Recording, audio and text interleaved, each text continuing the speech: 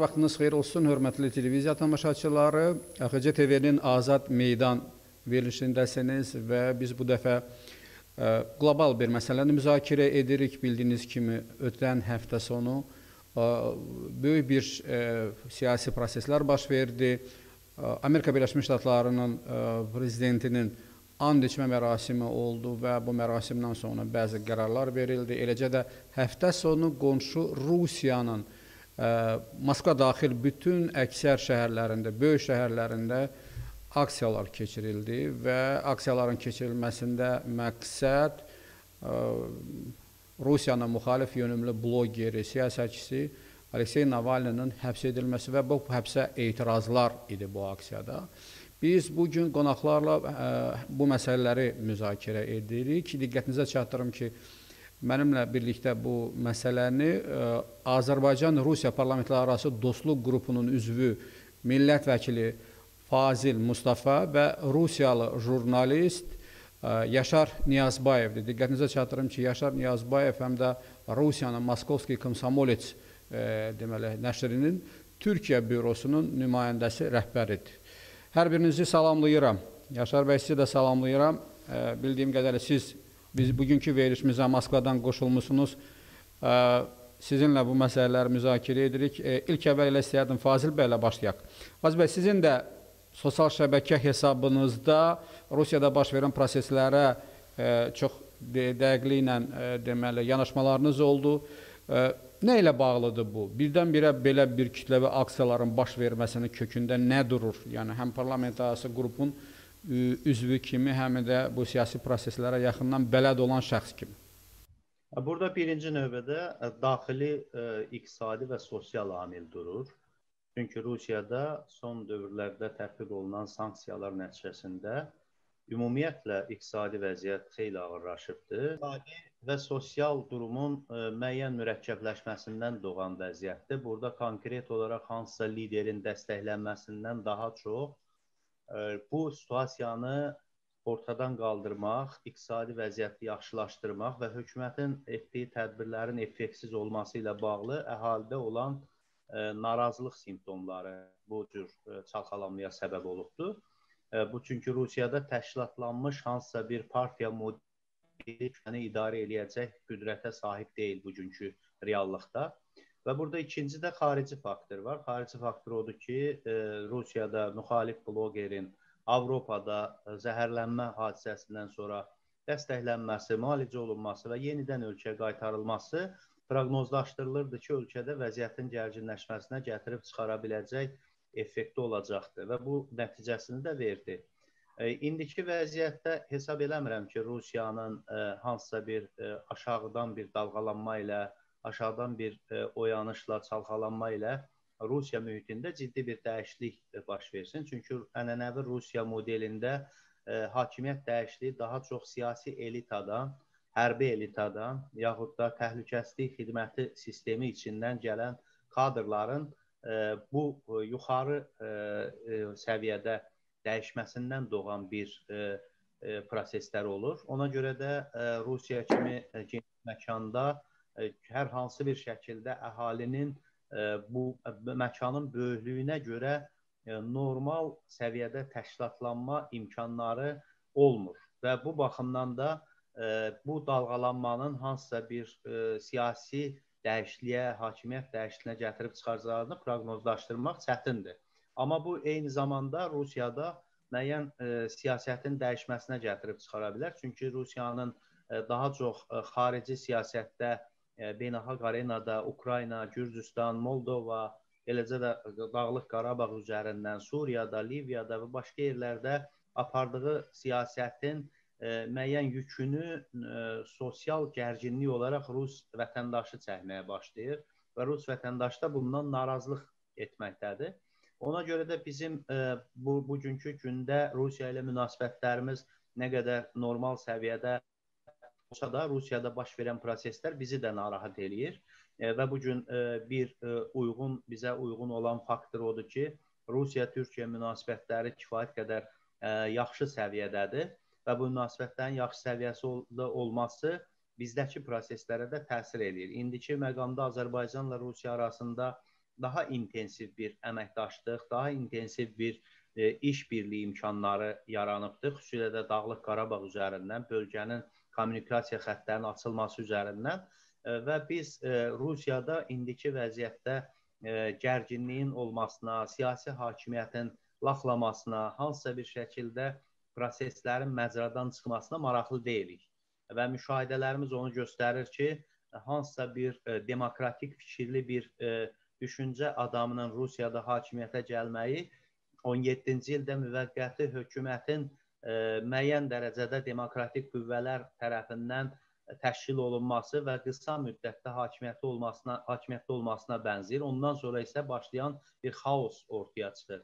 Ona görə də Rusiyadakı xaos bizim üçün ən əlverişsiz e, digər postsovet məkanda olan e, demək xalqlar üçündür, dövlətlər üçündür və biz e, çalışmalıyıq ki, ümumiyyətlə bu prosesin e, müəyyən dərəcədə Rusiya əhalisini üçün nə qədər e, bir yaxşı mənada dəyişikliyə səbəb olmasına e, gətirib çıxarmış olsa belə, e, bizim üçün e, bir təhlükə yaradacaq məcraya gəlib yetişməsin. Bu üçün çox önəmlidir. Çünki biz bildiyiniz kimi 10 noyabr hadisələrindən sonra Dağlıq Qarabağda və ümumiyyətlə regionda yeni bir bölgənin dizayn olunması istiqamətində addımlar atırıq və bu addımları da yarımçıq qalması ümumi gələcəyimiz üçün ciddi narahatçılıqlar və təhlükə ola bilər.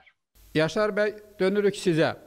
Fazil bəyin dediklərini yəqin ki dinlədiniz, anladınız. Qeyd, ed qeyd edir ki, bu Rusiya-Türkiyə münasibətləri hazırki vəziyyətdə normaldır və ikinci önəmli məqam ondan ibarətdir ki, Fazil bəy e, Parlamentarlaşıq Dostluq qrupunun üzvü olaraq qeyd edir ki, Rusiyada hər hansı bir anarxiyanın, çaxnaşmanın baş verməsi region üçün, bölgə üçün, Türkiyə üçün, Azərbaycan üçün qəbul edilməzdir. Bu yəni böyük bir e, problemlərə gətirib çıxara bilər.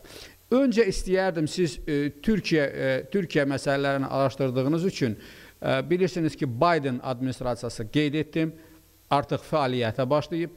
Biden administrasiyasının hədəfində məhz həmin Türkiyə hazırki rəhbərliyi və Rusiya hazırki rəhbərliyi var.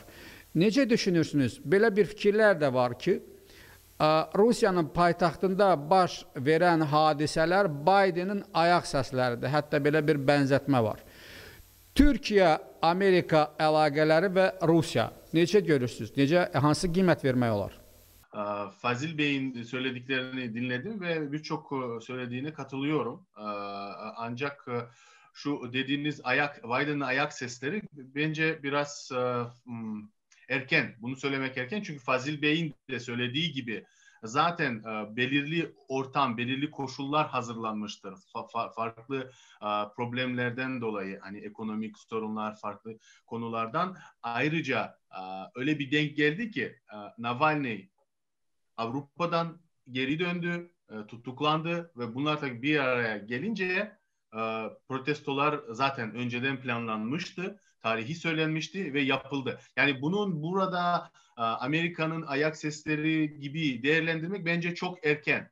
Hı hı. Ancak e, şunu gördük ki Amerika elçiliği kendi Twitter hesabı aracılığıyla evet. oldukça destek verdi bu protestolara ve bu tabii ki galiba bunu evet birazcık da yeni yönetimin, e, yeni Cumhurbaşkanlığının, devlet başkanlığının gelmesiyle mümkün olduğunu söyleyebiliriz. Çünkü hani Trump olsaydı belki e, elçiliğin davranışı çok daha farklı olabilir. Çünkü hani bizim e, düşüncemize göre hiçbir elçilik kafasına göre takılmaz. Bu bir siyasetin genel bir yapısıdır. Yani genel bir bir çizgisin çizgisi çizgisi içinde harekette bulunur. O yüzden e, oradaki e, birisi Twitter kullanan bir e, elçilik çalışanının hadi ben de bir mesaj yazayım düşüncesiyle yazmış olması mümkün değil. Bu yüzden e, birazcık evet e, yönetimin değişmesi, ABD'de Trump'tan Biden'a geçmesi burada etkili olduğunu düşünüyorum. Ama protestoların bununla ilgili olduğunu düşünüyorum. Fakat şöyle bir şey de olabilir. Mesela bu protestolara çıkan insanlar Tabii ki onlar bir, bir, bir nevi Amerika'yı, Avrupa'yı kendisine bir e, ideal olarak görebiliyor.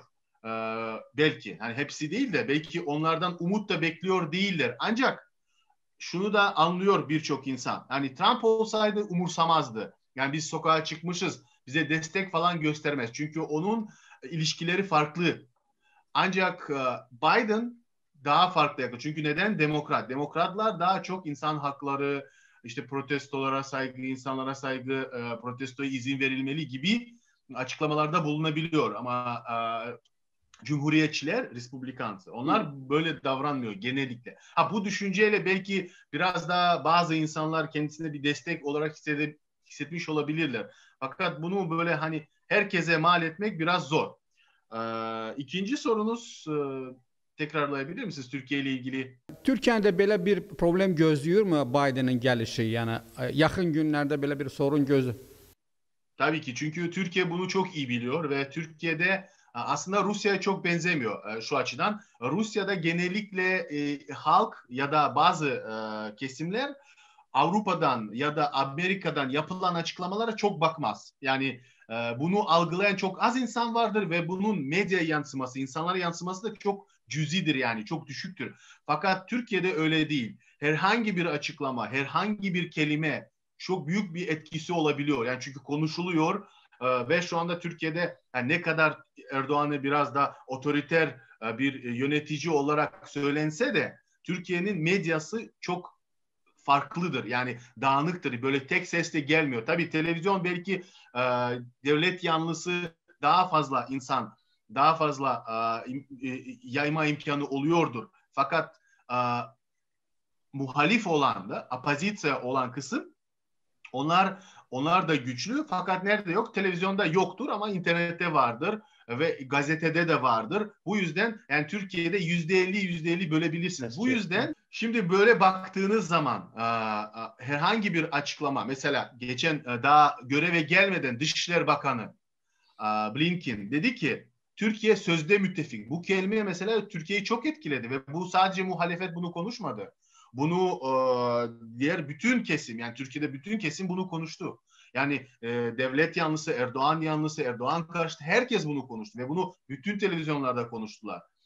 Bu yüzden burada şunu diyebiliriz. Tabii ki Biden'ın etkisi büyük olur. Özellikle şunu biliyoruz. Biden'ın yaklaşımı Türkiye'ye ve Erdoğan'a Trump'ın yaklaşımına benzemiyor. Ayrıca Türkiye'de mesela birçok uzman diyor ki Trump e, kişisel ilişki kuruyordu Erdoğan bu kişisel ilişki sayesinde birçok konuyu yani Türkiye'nin ilgisi olan, Türkiye'nin çıkarına olan konuyu çok rahatça çözebiliyordu.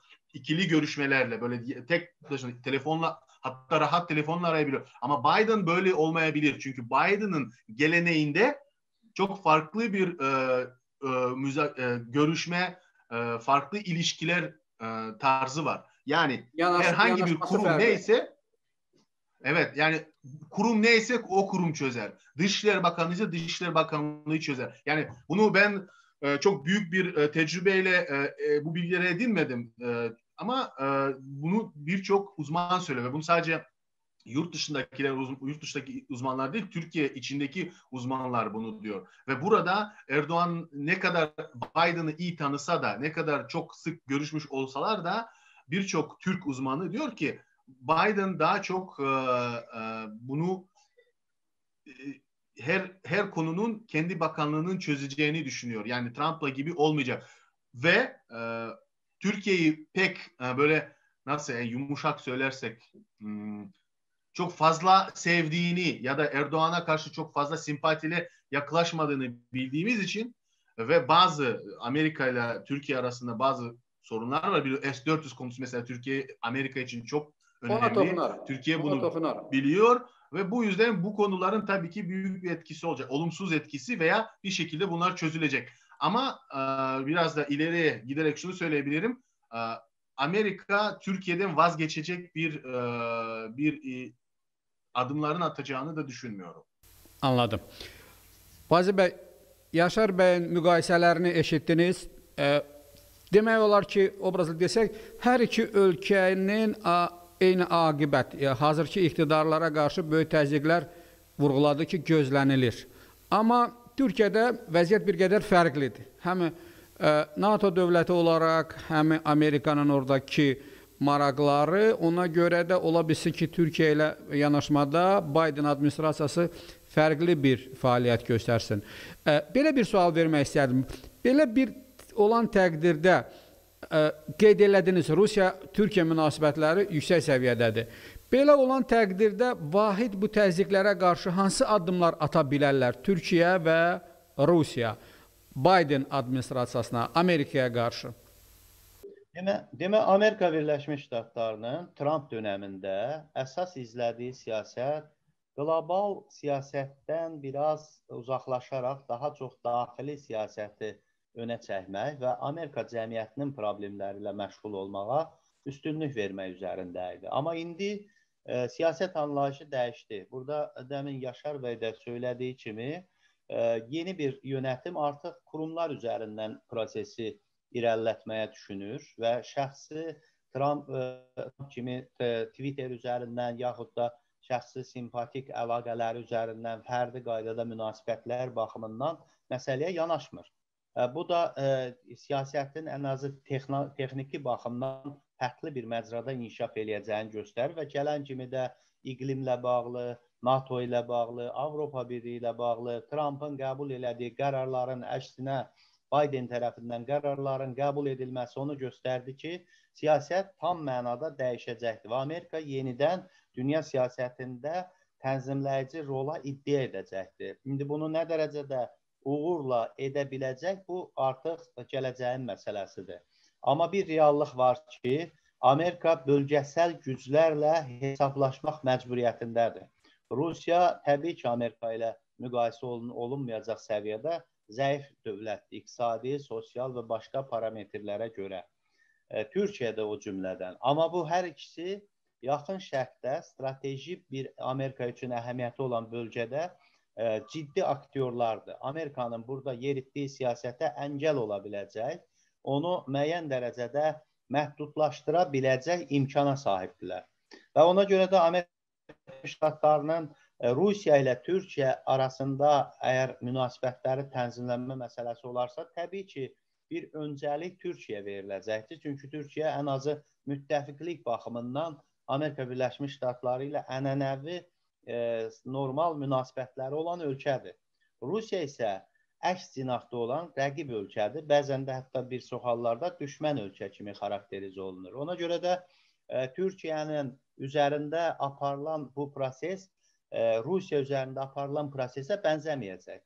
Amma e, daxili resurslara gəldikdə isə Türkiyə Rusiya deyil. Diqqət edirsə Rusiya Türkiyə iqtisadi cəhətdən pandemiya dövründə 17-18-ci yerlərdən 13-cü yerə qədər irəlilədi. Yəni iqtisadi tənəzzül yaşamadı Türkiyə. Türkiyə əksinə bu dövrdə daha çox iqtisadi e, resurslarını e, səmərəli istifadə elədi. Digər tərəfdən son illərdə hərbi sənaye kompleksini inkişaf elətdirdi və e, son hadisələr də göstərdi ki, Türk silahı kifayət qədər əhəmiyyətli səviyyədə köhnə ənənəvi güclü silah sayılan Rusiya silahından üstün mövqe e, tutdu. Və belə bir vəziyyətdə e, Türkiyənin həm də e, aktiv xarici diplomasiyası da məsələyə öz təsirini göstərir və e, şərqdə olan dəstək imkanları Rusiyadan daha çoxdur. Ona görə də Orta e, Şərq üzərindən, Orta Doğu üzərindən Amerika Birləşmiş Ştatlarının Türkiyəyə çox ciddi ehtiyacı olacaqdır. Sadəcə burada Türkiyə-İsrail münasibətlərinin necə tənzimlənməsindən məsələ çox asılı olacaq. Əslində Amerika Birləşmiş Ştatlarının biraz da Türkiyə üzərində təzyiqi S-400 e, kompleksindən daha çox İsraillə münasibətlər məsələsidir. Türkiyə bu məsələdə müəyyən bir olumlu addımlar atarsa, bu münasibətlər tənzimlənərsə, e, Amerika Birləşmiş Ştatlarında olan Yahudi lobbisinin də Türkiyə üzərindən müəyyən bu mexanizmləri işə salması dayandırılacaqdır. İndi siz təsəvvür edin ki, Amerika Birləşmiş Ştatlarında 3 əsas lobbi var. E, demək, e, Yəhudi lobbisi, Erməni lobbisi, bir də Yunan lobbisi. Hər üçü Türkiyəyə qarşıdır. Demək, dövlətin də qərarlarının alınmasında bu lobbilərin böyük təsiri var. Və Türkiyə bu münasibətləri ən azı biri ilə normal tənzimləmə imkanına sahib olarsa, ə, yaxşılaşdırma, irəli aparma imkanına sahib olarsa, bu azalacaqdır. Amma Rusiya ilə bağlı məsələdə bizi bu günləri düşündürən daha çox odur ki, Türkiyə və Rusiya bölgənin yenidən dizayn olunmasında və Amerika Birləşmiş Ştatlarının təsiri olmadan bunu gerçəkləşdirməyə artıq konkret, somut addımlar atıblar. Ya bu da Dağlıq Qarabağ konusunda atdılar və bölgəyə artıq kimsəni buraxmaq fikirlərində deyillər. Yəni nə Avropa Birliyini, nə Amerika Birləşmiş Ştatları. Son təzyiqlər daha çox bununla bağlıdır. Onlar bölgədə əllərinin yenidən harasa e, ilişməsinə maraqlı olduqlarına görə bu əllərinin kəsilməsini istəmirlər. Və ona görə də bu təzyiqlər son vaxtlar artacaq. Baydenin də gəlişi ilə əsasən e, orada biraz erməni yönümlü e, demək administrasiyada şəxslərin daha çox olması, eyni zamanda da bu bölgədə e, insan haqları konusunda onların öncəlik verdiyini Amerika toplumuna göstərmək üçün buralarda bir e, mazərət, bəhanə axtarmağa başlayacaqlar daha çox insan haqları üzərindən. Və biz də çalışmalıyıq ki, bu məsələlərdə bölgəyə kənar müdaxilələr baş verməsin. Yəni bizim çünki həyati əhəmiyyət daşımış daşıyan problemimizin həlli üçün e, Amerikadan, Avropa gələn mesajlar qaniyedici deyil. Mən diqqət eləyirsinizsə, Avropa Birliyi e, qətnamə qəbul elədi. O qətnamənin 4-cü bəndində göstərilir ki, e, hər bir şərq tərəfdaşlığı, doğu tərəfdaşlığı ölkələrinin torpaq bütünlüyünü tanıyırıq. Yəni bu e, e, olmazsa olmazdır. Amma burada 36-cı bənddə Türkiyənin bölgəyə müdaxilə etməsinə çox sərt bir e, yanaşma, yaxlaşım ortaya qoyurlar. Bu olduqca düşündürücüdür, manidardır. Bu bu məsələ üzərində biz e, daha çox düşünməliyik ki, halbuki bölgəyə hələ Türkiyə tam mənada gəlməmiş. Sülh məramlı olaraq Rusiya gəlmiş. Rusiyanın adını xatırlamırlar, amma Türkiyənin adını xatırlayırlar. Çünki ən böyük təhlükə bölgədə Türkiyənin e, demə mövcudluğudur. Çünki Türkiyənin mövcudluğu təkcə Azərbaycan deyil, Orta Asiya Türk Cümhuriyyətlərinin də müəyyən dərəcədə bir ortaq bir e, platforma gəlməsi deməkdir. Və bu Orta Asiya üzərində də təsirin itirilməsi düşüncəsinə görə e, daha çox Türkiyə üzərinə yüklənmələr artacaqdır. Amma bunlar e, Türkiyənin son vaxtlar daha dinamik, daha ə, e, demə akıl dolu bir ə, e, siyasət izləməsinə əngəlləyə bilməyəcəkdir. Türkiyədə, Rusiyada kimi qüvvələri ayaqlandırmaq mümkün deyil. Çünki Türkiyədə e, Rusiyada Berdiyevin mən hər zaman söyləyirəm, Rusiyanın taleyi əsərində Rusiyanın xarakteristikası çox gözəl verilir. Ərazi Rus insanını e, mütləq e, hansısa bir monarxiyaya, e, hansısa bir çar e, nəvazişinə e, məhkum edir. Amma Türkiyədə bir e, elə bir dövlət ənənəsi var ki, elə bir altyapı var ki, e, imperialist bir hansısa bir müdaxilənin qarşısında həmən toparlana bilirlər, həmən firqə fərqlərini ortadan qaldırırlar, parti ortadan qaldırırlar və daha e, sıx şəkildə bunu edə bilirlər. Necə ki Suriyada, Liviyada, başqa yerlərdə etdilər. Ona görə də Türkiyəni Türkiyə Rusiya baxımından daha avantajlı durumdadır. Türkiyə baskı etmək imkanı Rusiyadan fərqli olaraq e, daha azdır. E, çünki həm iqtisadi şərtlər Türkiyənin e, buna müsait deyil, həm də ki, demək toplumun yapısı, quruluşu imkan vermir ki, Türkiyə eyni müdaxiləni edə bilsin. Yaşar bəy, kifayət qədər bir neçə məsələyə toxundu Fazil bəy. Öncəliklə qeyd elədi lobbi məsələsi İsrailin burada yükü. Putinin də qeyd etdiyi kimi Erdoğan siyasətində kifayət qədər sərtdir. Amma təhlükəni hiss edəndə, məhsul bir zonaya keçəndə danışmağı bacarır. Yəni o konstruktiv danışmanı bacarır. İsraillə artıq bu təhlükələri nəzərə alıb İsraillə hansısa yumşalmaya gedəcəkmi? Bir, Fazil bəy qeyd elədi, Türkiyənin Cənubi Qafqaz, Orta Asiyadakı nüfuzunun artması səbəbindən Batı dövlətlərinin, Qərb ölkələrinin Türkiyə təzyiqi. Bu, bu, bu, bu tezislər üzərində sizin də fikirləriniz maraqlı olardı. Və təbii ki, Türkiyə cəmiyyətinin lazımı anda ə, yekdil olması. Evet, çok ilk, hoşuma gitti yani çok güzel şeyler söylediniz, bilgilendirici ve yerli yerine oturttunuz konuları Fazil Bey. Çok sağ olun. İlginç oldu. Ee, İsrail konusuna geldiğimiz zaman e, bence Türkiye zaten e, çoktandır, birkaç aydır İsrail'le ilişkileri düzenle, düzeltmeye çalıştığına dair bilgiler var.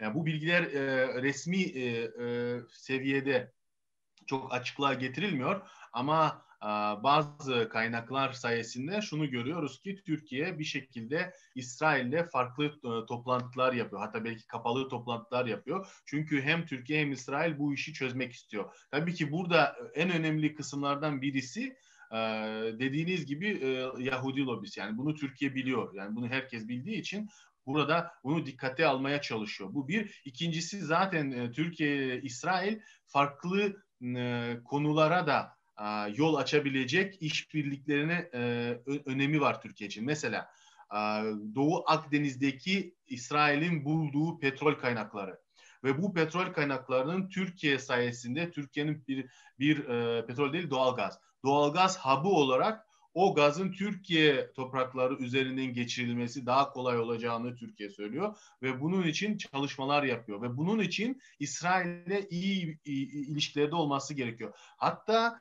bunun için Mısır'la da Türkiye'nin anlaşması gerekiyor. Biliyorsunuz Mısır'la da ilişkiler e, Türkiye'nin bozulmuştu. Sisi ile şu anda mesela Erdoğan e, hiçbir şekilde görüşmüyorlar. Hatta çok böyle olumsuz açıklamalar da yapılmış. Şu anda bu biraz daha durdu. Bir-birine şahsi hatta belə intrigaları var. Evet. Evet. Ama şu anda bu biraz daha geri plana çekiliyor. Çünkü Türkiye biraz hani böyle e, savaşçı pozisyonundan biraz daha böyle artık ilişkileri düzeltme pozisyonuna geçti. Aynı zamanda biliyorsun mesela Avrupa Birliği ile e, ve Erdoğan'ın daha birkaç ay önce reform yapacağız. Hem e, bu, bu reform hem ekonomik reformlar hem e, hukuki reform olacak gibi şeyler söyledi ve ilişkilerde. Bu yüzden şu anda Avrupa Birliği ile ilişkileri düzeltmeye çalışıyor Türkiye ve birkaç gün önce mesela Çavuşoğlu Avrupa turuna çıktı.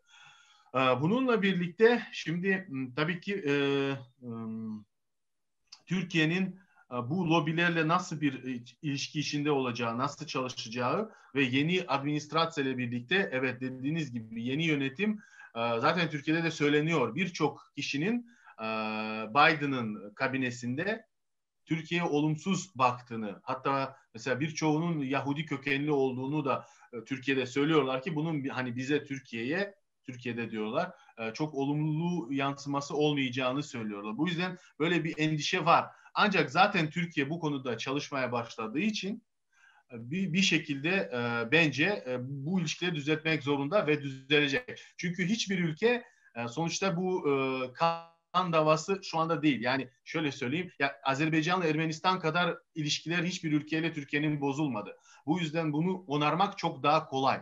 Yani o yüzden bence bu, bu, bu, bu şeyler olumlu adımlarla zaten Türkiye adım bu adımları attıktan sonra yani e, düze, düzeleceği e, benziyor. Yani böyle bir beklenti var. Çünkü başka bir şu anda gidecek yol yok. Yani bu, bu ilişkileri düzeltmek gerekiyor. Zaten Türkiye'nin biliyorsunuz Davutoğlu e, zamanında bir felsefesi vardı. Sıfır problem. Maalesef bu sıfır problem e, sıfır e, iyi ilişkilere dönüştü maalesef. Çünkü neredeyse hiçbir e, komşuyla iyi ilişkilerin olmadığını e, zamanla gördük. Türkiye'nin tabii bunu bunun için kendi bir e, kendi açıklamaları var. Bunu farklı şekilde anlatıyor. Mesela Doğu Akdeniz'de çünkü e, Yunanistan'ın gerçekten Türkiye'nin ve Kıbrı Türk, Türk, Türk Kıbrıs'ının yani Güney Kıbrıs'ın pardon Kuzey Kıbrıs'ın haklarını hiçbir şekilde saymadığı için bu sorunlar ortaya çıkıyor. Kuzey Kuze, Kuzey Suriye'de bir devlet oluşturmaya çalışıyor. Tabii ki Türkiye buna karşı çıkacak. Çünkü bu devlet e, ta, tamamen Türkiye'ye endişe tehdit. oluşturuyor. Evet bir endişe oluşturuyor ve tehdit oluşturuyor. Yani burada buradaki adımların bazılarını belki siyaseten yapmak zorunda kaldı Türkiye ama bazıları gerçekten Türkiye'nin yapmak zorunda kaldığı adımlardı. Yaşar bəy, ikinci hissə sualım e, Fazil bəyin qeyd elədiyi Türkiyənin Cənubi Qafqaz, Orta Asiyada artan nüfuzuna qarşı tab gətirəcəkmi, davam gətirəcəkmi? Qısa. Yani et, etkisini mi artıracak diyorsunuz yoksa e, e, Türkiye'nin e, Türkiye'nin etkisine karşı təzyiqlər olacaqmı? Türkiye'nin etkisini aşağı salmağa çalışacaqmı Qərb Batı? tabii ki bunu bakın bunu sadece e, Avrupa değil bu mesela Rusya da çok e, hoşnut değil Doğru. yani Türkiye'nin e, Orta Asya Türkiye Cumhuriyetlerine etkisini e, Kazakistan'la, Özbekistan'la mesela askeri anlaşmalar sağladığını, bunu Rusya'da çok yazıyorlar yani ve bunu çok böyle olumlu bakmıyorlar, endişeyle yaklaşıyorlar. Aynı zamanda Türkiye çok büyük bir etki gösterdi. Hem manevi yardımla Azerbaycan'a hem e, siyasi anlamda destekle Azerbaycan'ın bir savaşı kazanmasına destek verdi ve bu büyük bir etki yarattı. Çünkü burada belliydi ki sonuçta bu açıklamalar, yapılan açıklamalar, siyasi açıklamalar ve e, manevi destekler çok yani bence büyük bir yardımı olmuştu ve herkes anladı evet. ki burada tabii ki Azerbaycan kendi gücüyle zaten bu savaşı e, kazanır. kazanır ve kazandı. Ancak bu bu desteğin bence hani böyle e, sahadayken askerlere moral verdi, devlete, vatandaşlara moral verdi ve bunu Avrupa gördü yani bu etkinin ne kadar böyle ivme kazandırabildiğini yani siz herhangi bir e, kendinize hedef koyduğunuzda böyle güçlü bir ülkenin size yardımını izlediğiniz zaman bunun sonuca varabildiğini Avrupa görüyor, Rusya görüyor, diğer ülkeler görüyor. Ve tabii ki bunu hoş karşılamayabilirler ve zaten e, Fazıl Bey'in de e, ifade ettiği gibi bunu sadece lafta değil yani dokümanlarda devletin ciddi dokümanlarında bile dile getiriyorlar. Bence bu tabii ki devam edecekler. Tabii ki bunu her konuda e, mesela biliyorsunuz Türkiye ile arayı bozuyorlar ama şu anda görüyorlar ki e, Türkiye'yi biz tamamen dışlarsak o zaman yani zararı daha çok bize olur. Bu yüzden Türkiye'yi yine de yanlarına çekmek isterler ve şu andaki Çavuşoğlu'nun gezileri burada sadece Türkiye'nin faydasına değil Avrupa'nın da faydasına olduğu e, aşikar. Fazıl Bey 3 dəqiqə vaxtınız var. 2008-ci e, ildən e, Rusiyanın Gürcüstana təcavüzündən sonra Birləşmiş Ştatların prezident administrasiyası ilə Rusiya arasında antagonik yanaşma, sərt ritorikalar daha da güclənməyə başladı. Ukrayna, Krım sizin də qeyd etdiyiniz kimi və ən nəhayətdə Trampın seçki dövründə Rusiya hakerlərinin bu prosesə müdaxilə etdiyi doğrudur. Sonra araşdırmalar aparıldı və belə bir açıqlamalar verdi ki, belə bir müdaxilə olunmayıb. E, siz necə düşünürsünüz? Bax, indiki bu aksiyalarda belə bir fikirlər də səslənilir ki, e, Moskvada baş vermiş hadisələr e, deməli Biden and içməsi dönəmindən 3-5 gün qabaq baş verən proseslərə cavabdır. Bu e, qeyri-rəsmi səslənir, amma sizin də fikirləriniz maraqlı olardı. Sosial şəbəkələrdə də belə bir ritorikalar var. Bu ona cavabdırmı? Məncə bu Amerikanın verdiyi cavab deyil. Bu çünki hələ Amerika administrasiyası özünün formalaşma dövrünü başlayıbdı və hansısa bir Rusiya üzərindən bir planlaşdırmanı həyata keçirmək üçün oturuşmuş bir administrasiyaya ehtiyac var. Bu bilavasitə Rusiyada sosial-iqtisadi vəziyyətin ağır durumda olmasından qaynaqlanan bilavasitə çünki burada Navalny olmasın, başqa bir adam olsun, onun obrazında Rusiya cəmiyyəti yaşam şərtlərinin ağırlığını Hacı müəllim necə ki Xabarovskda baş verir, ə, hələ də davam doğru. Orada Xabarovskda 2 ay yürüdülər, 3 ayda yürüyürlər. Yəni bir qubernatora görə. Qubernator e, Navalny'dən daha populyar adam değildi ki. Doğru. Amma söhbət ondan gedir ki, bir obraz tapıb, bir xilaskar tapıb bu vəziyyəti dəyişmək istəyir Rusiya cəmiyyəti. O baxımdan da burada təbii ki, Amerikanın marağı əgər əvvəldən olsaydı Rusiyanı çökdürmək, onun üçün başqa mexanizmlər var. Bunu həyata keçirərdi. Və digər tərəfdən Rusiya ilə bağlı məsələlərdə də Çin amilinə görə hədsiz Rusiyanı çökdürmə siyasəti də Amerika üçün məqbul deyil. Amma bütövlükdə yəni bu e, Rusiya vəziyyətdən çıxış yolu tapa bilmir. Rusiya e, vətənpərvərliklə, patriotizmlə müəyyən sosial gərginliyi örtbasdır eləməyə çalışırdı. Tutaq ki, Ukraynada, Krımda, Suriyada, başqa yerlərdə, amma indi ac əhali, yoxsul əhali üçün ölkənin kənarda hansısa bir uğuru, qələbəsi, əskəri zəfəri o qədər də maraq doğurmur. Onlar deyirlər ki, başqasına xərclədiyini bizə verməlisən. O vaxtlar Sovet dövründə Afrikaya, Vyetnama, başqa yerlərə xərclənəndə onda qapalı ölkə olduğuna görə səs qaldırmaq olmurdu. Amma indiki dövrdə açıq ölkədir və istər-istəməz informasiya dərhal yayılır, ifşa edici materiallar dərhal yayılır və əhalini də bu prosesə cəlb etmək mümkün olur. Sizin hər ikinizə təşəkkür edirəm. Əlavəniz varsa kiminsə buyura bilər. Yaşar bəy əlavəniz varmı? Yoxdursa biz ə, verilişimizi başa çatdırırıq. Fazi bəy sizə də təşəkkür edirəm. Kifayət qədər ətraflı məqamlara toxundunuz ə, və Rusiyada baş verən prosesləri incəliyi ilə, detalları ilə tamaşaçıların diqqətinə çatdırdınız. Hörmətli televiziya tamaşaçıları diqqətinizə çatdırıram ki, bugün biz AXC TV-nin Azad meydan verilişində Rusiyanın paytaxtında və digər şəhərlərində baş vermiş hadisələri, Bidenin e, prezidentliyinin fəaliyyətə, yəni fəaliyyətinə start verməsi, eləcə də Türkiyə-Rusiya münasibətləri, Türkiyə deməli Rusiya Amerikaya qarşı, yəni proseslərdə iştiraki məsələsi gündəmə gətirildi. E, efirimizin qonaqları e, Azərbaycan-Rusiya Parlamentlərarası Dostluq qrupunun üzvü millət vəkili hörmətli Fazil Mustafa və Rusiyanın Moskovski Komsomolets qəzetinin Türkiyə bürosunun rəhbəri Yaşar Niyazbayev idi. Sağ olun, növbəti görüşədək.